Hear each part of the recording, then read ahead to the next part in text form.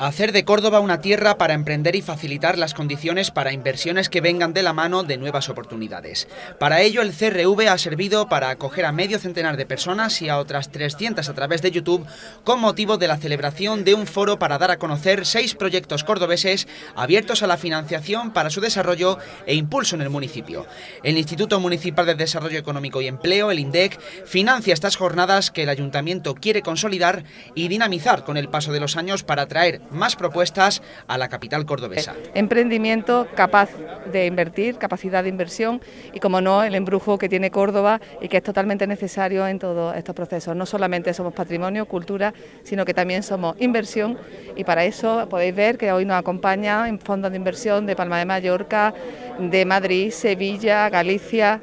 y bueno, la verdad que podemos abrir Córdoba, Córdoba está abierta y Córdoba está para recibirla. Este evento lo organiza la Asociación Nacional de Trabajo en Red, ASNANET, y cuenta con la colaboración del Ayuntamiento, el Netting Club y la Universidad de Córdoba.